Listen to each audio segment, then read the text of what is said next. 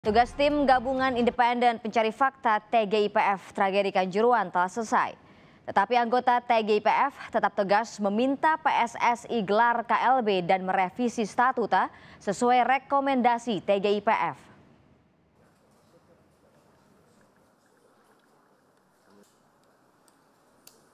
Tim Gabungan Independen Pencari Fakta TGIPF sudah mengeluarkan rekomendasi terkait penyelidikan tragedi Kanjuruhan. Rekomendasi ditujukan kepada PSSI, dua di antaranya induk sepak bola Indonesia, direkomendasikan menggelar KLB dan merevisi statuta. Hal ini dirasa perlu dilakukan sebagai usaha penyelamatan sepak bola nasional. Dengan tegas anggota TGIPF Anton Sanjoyo menilai PSSI berlindung pada regulasi PSSI pasal 3 garis miring 2021 tentang regulasi keselamatan dan keamanan di mana pasal ini menyebut bahwa Panpel menjamin, membebaskan dan melepaskan PSSI dari segala tuntutan.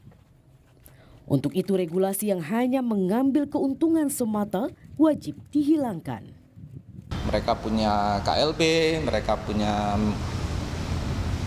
kongres pemilihan, mereka punya sebetulnya punya mekanisme mekanisme organisasi untuk mempertanggungjawabkan tragedi Kanjuruhan yang kami nilai memang sebagian bahkan sebagian besar adalah tanggung jawab PSSI dan itu yang mereka tolak. Jadi mereka menolak presiden mereka menolak pemerintah mereka menolak seba keinginan sebagian besar rakyat untuk melakukan reformasi sepak bola.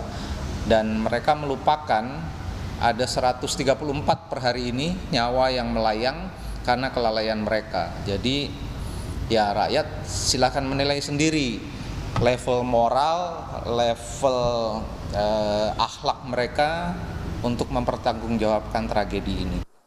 Ketua TGIPF Mahfud MD pun meminta pertanggungjawaban moral Federasi Sepak Bola Indonesia.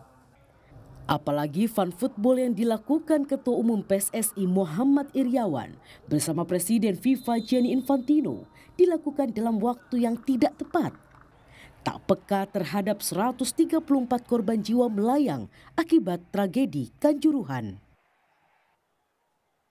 Rinin Taniken, Febri James, Kompas TV, Tangerang, Banten.